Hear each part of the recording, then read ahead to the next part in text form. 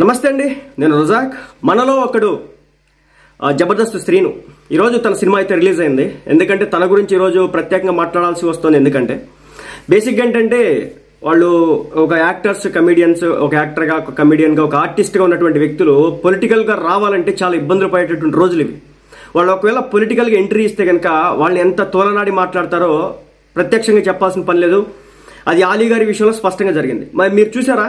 Last five ఇయర్స్లో ఆలీ సంబంధించినటువంటి సినిమాలు ఎక్కడ కూడా పెద్ద కనిపించలేదు. బట్ ఏంటంటే గుర్తుపెట్టుకోండి పొలిటికల్గా ఉంటే వాళ్ళ లైఫ్ మీద చాలా దెబ్బ పడింది. అయినప్పటికీ కూడా జబర్దస్త్లో చేసేటటువంటి ఆర్టిస్టులు కావచ్చు అదేవిధంగా సినిమాల్లో చేస్తున్నటువంటి ఆర్టిస్టులు కావచ్చు టీవీ సీరియల్స్లో చేస్తున్నటువంటి ఆర్టిస్టులు కావచ్చు మొన్న పిఠాపురం వచ్చి పవన్ కళ్యాణ్ గారి కోసం కొన్ని రోజుల పాటు నలభై డిగ్రీల ఎండల్లో కూడా తిరిగినటువంటి వ్యక్తులు వీళ్ళంతా.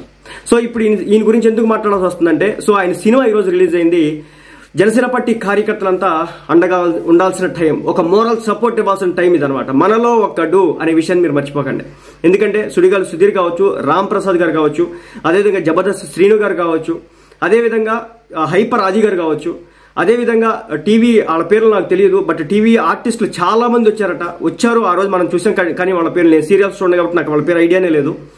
అదేవిధంగా చాలా మంది సినిమా వచ్చారు. సినిమా ఇండస్ట్రీ నుంచి చాలా మంది వచ్చి పిఠాపురం వచ్చి పవన్ కళ్యాణ్ గారి కోసం పనిచేశారు. ఒకవేళ వీళ్ళు లీడ్ యాక్టర్స్గా చేస్తున్నటువంటి రోజుల్లో ఉన్నారు మెయిన్ వాళ్ళు వాళ్ళు ఇప్పుడిప్పుడు ఎదుగుతూ ఉన్నటువంటి రోజులు ఇవి. ఇప్పుడు సుడిగాల సుధీర్ గారు కావచ్చు ఇప్పుడు రెండు మూడు సినిమాలు వచ్చినట్టున్నాయి. కాలింగ్ సహస్ర ఇప్పుడు ఏదో జరుగుతున్నట్టుంది. సో ఆ అంత కొంచెం ఒక మాదిరి మంచి స్టాడం ఉంచుకొని కూడా వాళ్ళు అన్నిటిని పక్కన పెట్టుకొని కేవలం పవన్ కళ్యాణ్ గారి కోసం ప్రజల్లోకి వచ్చినటువంటి వ్యక్తులు. మరి వాళ్ళకి మనం సపోర్ట్గా ఉండాలా వద్దా? చెప్పండి. నేను నేను ఎలా ఉంటానంటే ఎప్పుడు కూడా ఎప్పుడు కూడా మనలో ఒకడు పైకి ఎదిగితే చాలా మంచిదన్నమాట. ఇప్పుడు బోస్కొమ్మూరి గారికి వాళ్ళ బ్రదర్కి హెల్త్ ఇష్యూ వచ్చింది. మనందరం సపోర్ట్ చేసామా లేదా? సో ఆయనతో ఈరోజు మాట్లాడేది జరిగిందనమాట చాలా హ్యాపీగా ఫీల్ అయ్యారు. అదేవిధంగా మనలో ఒకడు అది హైపరాది కావచ్చు జబర్దస్త్ శ్రీను కావచ్చు అదేవిధంగా సుడిగాల్ సుధీర్ కావచ్చు రాంప్రసాద్ కావచ్చు టీవీ యాక్టర్స్ నటీనటులు కావచ్చు నటీమణులు కావచ్చు వీళ్ళంతా కూడా చాలా మంది పవన్ కళ్యాణ్ కోసం వచ్చి పనిచేశారు వీళ్ళంతా. సో మనం ఒక ఒక ఎంటర్టైన్మెంట్ సినిమా నచ్చితే వెళ్ళండి. సో సినిమా బాగుందని చెప్పేసి ఒక టాక్ అయితే నడుస్తోంది. వెళ్ళండి సపోర్ట్ చేద్దాం ఇలాంటి వాళ్ళని. ఎందుకంటే వీళ్ళు ఓ దాచేసి మేడలు కట్టుకునేటటువంటి వ్యక్తులు అయితే కాదు సమాజంలో ఎవరైనా ఏదైనా ఇబ్బందుల్లో కష్టకాలు ఉన్నారంటే హెల్ప్ చేసేటటువంటి వ్యక్తులు. నాకు తెలిసినటువంటి వ్యక్తుల నుంచి నాకు తెలిసిన సమాచారం ఏంటంటే హైపరాది ఎన్ని దాని ధర్మాలు చేస్తాడో మీకు తెలియదు. బట్ ఏంటంటే ఆయన నాన్ వెజ్ జోక్ లేయచ్చు కావచ్చు కాక డబల్ మీనింగ్ జోక్ లేయచ్చు కావచ్చు కాక బట్ ఆయన చేసే హెల్ప్లు నాకు కొంతమంది దగ్గర నుంచి తెలిసిన విషయాలు ఏంటంటే మీకు చెప్తే షాక్ అవుతారు. చాలా మందికి హెల్ప్ చేస్తారు అదేవిధంగా సుడిగల సుధీర్ కూడా మంచి హెల్ప్ చేస్తారట. అదేవిధంగా శ్రీను గారు. సో అలాంటి వ్యక్తుల దగ్గర నుంచి ఒక సినిమా వచ్చింది. వాళ్ళ అంటే వీళ్ళంతా కూడా కింద నుంచి పైకి వచ్చినటువంటి వ్యక్తులు మనలాంటి వ్యక్తులు. సో వీళ్ళకి గాడ్ ఫాదర్స్ ఎవరు కూడా లేదు. సో వాళ్ళ సినిమాలు వచ్చినాయంటే మెగాస్టార్ చిరంజీవి గారు రియాక్ట్ అయ్యారు చూసారా రాజు యాదవ్ విషయంలో ఆ సినిమా విషయంలో? అంటే శ్రీను గారికి అండగా నిలబడ్డారు చూసారా? అదేవిధంగా మన హైపరాజీ గారు రియాక్ట్ అయినారు. అలా ప్రతి జనసేన పార్టీ కార్యకర్త కూడా మీ వాల్ మీద ఒక పోస్ట్ పెట్టండి. అంటే అది కోట్లు కోట్లు వందల వేల కోట్లతో తీసిన సినిమాలు అయితే కాదు కదా. మహా అయితే ఒక ఐదు నుంచి పది కోట్ల బడ్జెట్తో తీసుంటారు. మనలో కొంతమంది ఆ సినిమాకి వెళ్ళినా కానీ అతనికి మంచి మంచి ఆఫర్లు మళ్ళీ వస్తాయి. సో దాని ద్వారా ఏమవుతుందంటే మనలాంటి వాళ్ళు ఎవరైనా సినిమా ఇండస్ట్రీకి వెళ్ళాలని ఆశ ఉన్న వాళ్ళు ఎవరైతే ఉంటారో హెల్ప్ చేయడానికి కూడా అవకాశం ఉంటుంది వాళ్ళ దగ్గర నుంచి. కాబట్టి రాజు యాదవ్ అనే ఒక సినిమాని సపోర్ట్ చేద్దాం. అది మే ఇరవై నాలుగున ఈ రోజు రిలీజ్ అయిందంట. మంచి టాక్ అయితే నడుస్తుందట. సో ఒకసారి వెళ్ళి చూడండి.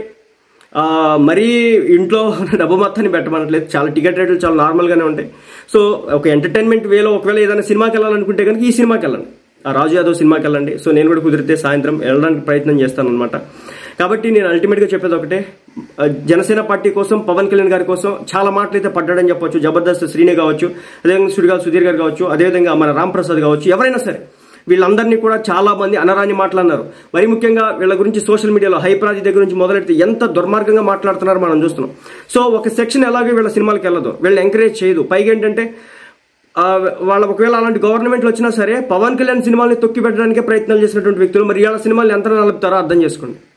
కాబట్టి మనం ఈ టైంలో మోరల్స్గా సపోర్ట్ ఉంటే మహా అయితే టికెట్ డెబ్బై రూపాయలు ఎనభై రూపాయలు గేట్ కొడితే నూట ఇరవై రూపాయలు అంతకుమించి ఏమి ఉండదు.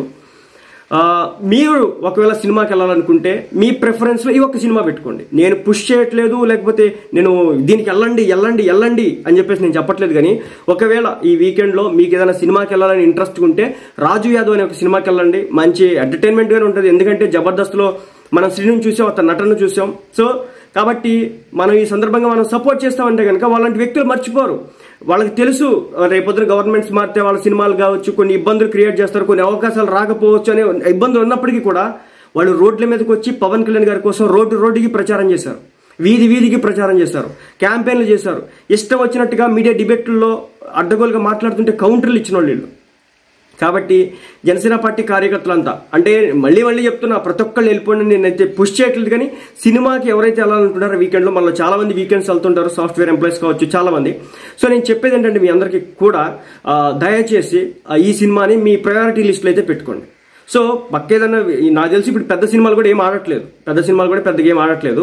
బట్ ఇలాంటి టైంలో వస్తుంది కాబట్టి మీ ప్రయారిటీ లిస్ట్లో నాకు తెలుస్తున్న సమాచారం ఏంటంటే నేను రివ్యూ అవి వాటికి సంబంధించి చూసినప్పుడు నాకు అర్థమైన విషయం ఏంటంటే మంచి కామెడీ ఎంటర్టైన్మెంట్ ఉంటుంది మంచి ఒక లవ్ స్టోరీ ఉంటుంది ఎమోషనల్ సీన్స్ అద్భుతంగా ఉంటాయని చెప్పేసి తెలిసింది.